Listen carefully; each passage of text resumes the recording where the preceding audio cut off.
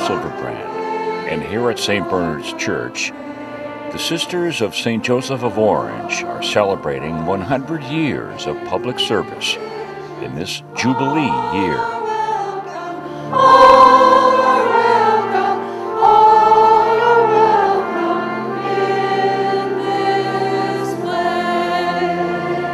Oh, it's been a trip down memory lane in many ways since I was in Arcata Bottom, and it's uh, been just a memory of the community and the people.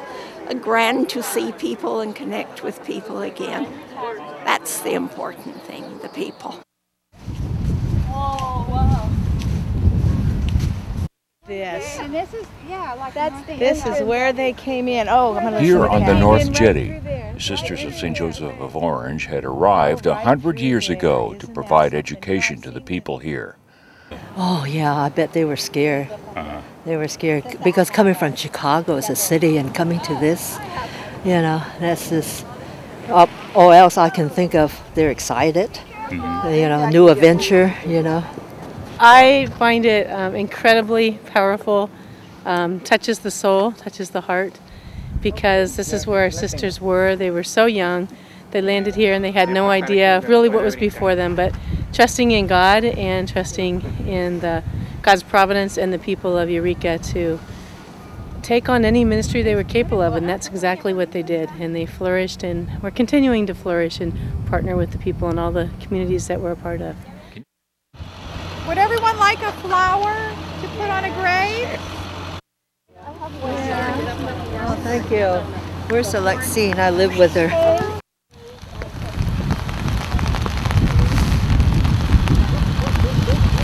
What are you looking for? I'm looking for Carmela, uh, the one. How did you know her? And here at St. Bernard Cemetery, some of the sisters are buried. Mercedes would be good too. So what does it mean to visit with her here? Huh? Because she's the one that drowned in the river, in the Eel River when she was just a junior. Think she's over here.